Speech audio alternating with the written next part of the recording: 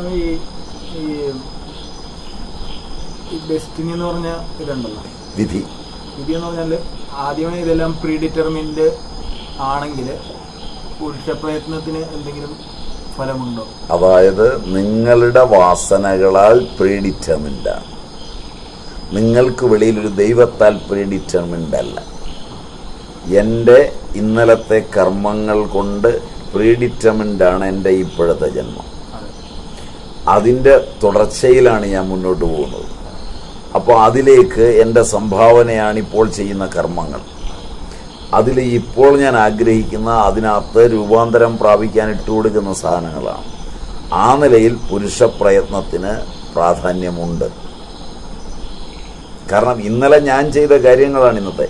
ഇന്നലെ ഞാൻ ചെയ്യാതെ വേറെ ആരെങ്കിലും അവിടെ നിന്ന് ചെയ്തതാണ് എങ്കിൽ പുരുഷ പ്രയത്നത്തിന് യാതൊരു ഫലവുമില്ല.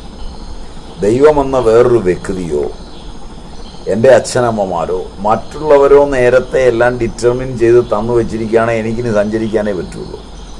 എന്റെ പൂർവകർമ്മമാണ് ഡിറ്റർമിൻ ചെയ്തിരിക്കുന്നത്. അത് എന്നിൽ നിന്ന് രൂപാന്തരപ്പെട്ടതാണ്. ഇന്ന് ഞാനാണ് അനുഭവിക്കുന്നത്. അതുകൊണ്ട് ആ പ്രീ ഡിറ്റർമിൻഡ് എന്ന് പറയുന്ന അർത്ഥം എന്റെ ജനിതകത്തിൽ നേരത്തെ രേഖപ്പെടുത്തിയതാണെന്നാണ്.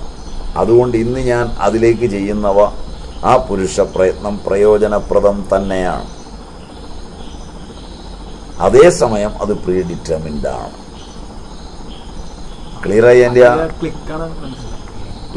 പ്രീ ഡിറ്റർമിൻഡ് എന്ന് പറയുമ്പോൾ ആര് ഡിറ്റർമിൻ ചെയ്തു? ഈശ്വരൻ എന്ന ഒരുത്തൻ പുറത്തിരുന്ന് ഡിറ്റർമിൻ ചെയ്താൽ എന്റെ പ്രയത്നത്തിന് ഒരു അർത്ഥവുമില്ല. ഞാനല്ലാതെ മറ്റൊരു വ്യക്തി ഡിറ്റർമിൻ ചെയ്തിടത്തൂടെ ഞാൻ സഞ്ചരിക്കുകയാണെങ്കിൽ ഞാൻ വെറും ഒരു അടിമയാണ്. അതേസമയം ഇന്നലെ എന്റെ ഒരു തുടർച്ചയുണ്ടായിരുന്നു. ഞാനെന്ന് പറയുന്നത് ഒരു പ്രവാഹ നിത്യതയാണ്. ചിന്തയുടെ പ്രവാഹ നിത്യതയാണ് വാസന. ഇന്നലെ എനിക്കൊരു വാസന ഇന്നൊരു വാസന നാളെ വാസന. ഇങ്ങനെ ഈ ശരീരത്തിൽ ഞാൻ ഇരിക്കുമ്പോഴും മുമ്പിരുന്ന ശരീരങ്ങളിൽ ഇരുന്നപ്പോഴുമുള്ള വാസനയുടെ തുടർച്ചയാണ് എന്റെ ലൈഫ് അപ്പോൾ ആ വാസനാ പ്രവാഹത്തിൽ ഇന്നലെ ഞാൻ ഡിറ്റർമിൻ ചെയ്തതാണ് ഇന്ന് ഞാൻ അനുഭവിക്കുന്നത്.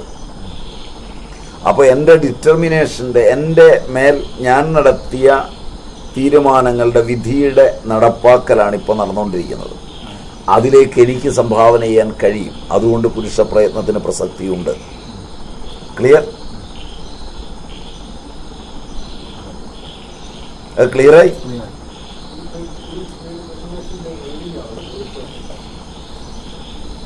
എന്റെ ജനിതകത്തിനകത്ത് നടന്ന സംഭവങ്ങളെ കാലപ്രകൃതിയെയും രാശിയെയും ജനന സമയത്തെയും വെച്ചുകൊണ്ട് അസ്യൂം ചെയ്യുമ്പോൾ അതൊരു ഇൻഡക്റ്റീവ് റീസണിങ്ങിൽ ചെറിയ സാധ്യതയുള്ള ഒരു സാധനം കിട്ടുമെന്നല്ലാതെ ശരിയാവില്ല. ഒന്നാമത് അതിനകത്ത് എടുക്കുന്ന കണക്കിൽ ഒരു ചെറിയ പഴമുണ്ട്. മുന്നൂറ്റി അറുപത് ദിനങ്ങളെ കണക്കിലുള്ളൂ. അഞ്ചേകാൽ ദിനങ്ങൾ കണക്കിലില്ല. മുന്നൂറ്റി അറുപത് ഡിഗ്രിയേ ഉള്ളൂ. ഗോളാകൃതിയാണ് ഭൂമിയുടേത്. ദീർഘവൃത്താകൃതിയാണ് എന്ന് സമ്മതിച്ചിട്ട് ആ ഏകദേശ കണക്കിലെടുത്ത് അയ്യായിരം കൊല്ലത്തിലൊരിക്കൽ കണക്ക് തിരുത്തണം. ഇപ്പോൾ അയ്യായിരം പോയിട്ട് പത്ത് കൊല്ലമായിട്ട് തിരുത്തിയിട്ടില്ല. വരാഹമിഹിരന്റെ ജ്യോതിശാസ്ത്രം ഉപയോഗിക്കുമ്പോൾ അതിന്റെ കണക്കുകൾ തിരുത്തി കറക്റ്റ് ചെയ്തിട്ടില്ല. അതുകൊണ്ടാണ് നമ്മളുടെ ഇപ്പോഴത്തെ കണക്കിൽപ്പെട്ട ചിങ്ങമാസത്തിൽ കന്നിമാസത്തിൽ ഒക്കെ പഴയ കണക്ക് പ്രകാരമുള്ള സംഭവമല്ല നടക്കുന്നത് കുറച്ചുകൂടെ നല്ല രീതിയിൽ പറഞ്ഞാൽ വിഷു വരുന്ന മേടം അല്ലേ? അല്ലേ? പലപ്പോഴും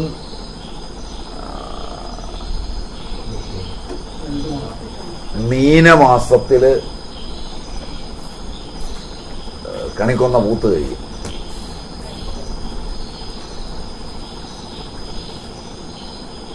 ഒരു പത്ത് ഇരുപത് ദിവസത്തിന്റെയെങ്കിലും ഭാവപ്പകർച്ചയുടെ മാറ്റം വന്നിട്ടുണ്ട്. അതനുസരിച്ച് നാളുകൾക്ക് മാറ്റം വരും. അപ്പൊ ആ ജ്യോതിഷ കണക്ക് തിരുത്താൻ പറ്റിയ ഒരാൾ വന്ന് തിരുത്തുന്നത് വരെ അതിനെ നമുക്ക് ബിലീവ് ചെയ്യാൻ പറ്റില്ല.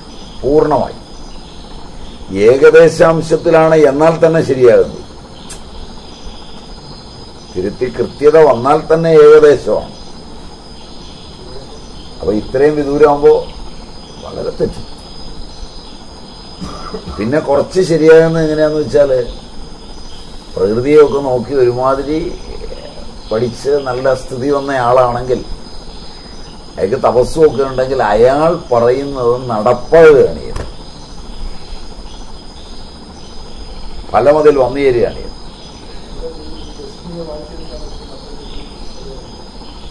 അവനവനാണ് ഏറ്റവും എളുപ്പം.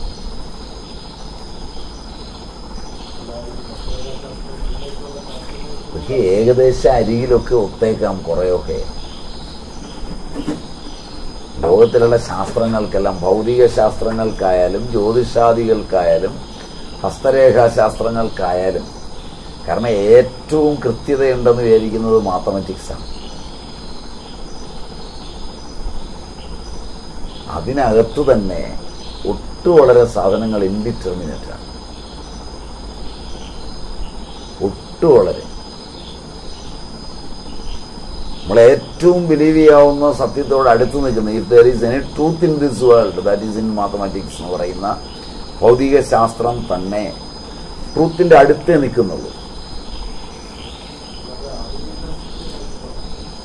ഞാനത് അതിനോട് ഒപ്പിച്ചിനി നാളെ ജ്യോതിഷത്തെയും ഒക്കെ കണ്ടാൽ പോലും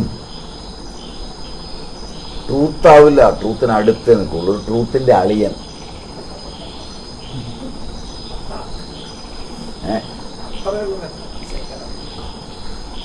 അത്രയും കണ്ടാ മതി. സഹോദരനല്ല